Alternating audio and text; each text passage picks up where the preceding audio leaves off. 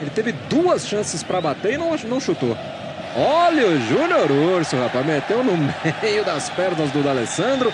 E na sequência o árbitro pega a falta do Patrick em cima do Júnior Urso. Foi bonito, ó, dominou. Vem, vem, D'Alessandro. Ih, rapaz.